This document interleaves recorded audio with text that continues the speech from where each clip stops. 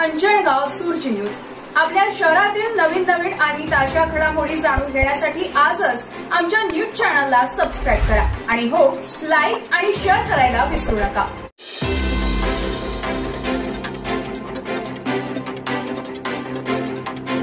युवा स्वाभिमान पार्टी व शिवसेना उद्धव बाळासाहेब ठाकरे गटाचे पदाधिकारी भिडले आपापसात. आज अंजनगाव सुरजी येथे युवा स्वाभिमान पार्टीची दहीहंडी स्पर्धा आयोजित करण्यात आली होती.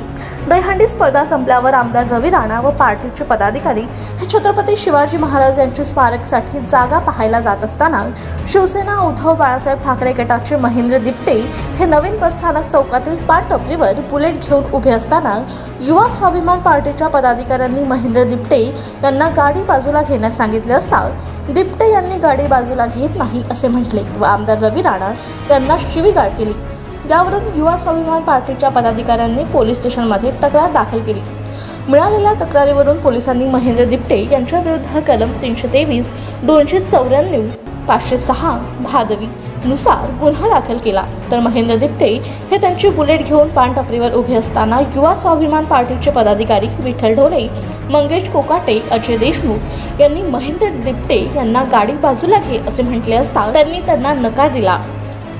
यावेळी विठ्ठल ढोले मंगेश कोकाटे अजय देशमुख यांनी दिप्टे यांना ओढताण करून लाथा बुक्क्यांनी मारहाण केली व अश्लील शिवीगाळ केली. यामध्ये शिवसैनिक व युवा स्वाभिमान पदाधिकारी यांच्यात झटापट झाल्याने यामध्ये दिप्टे जखमी झाले.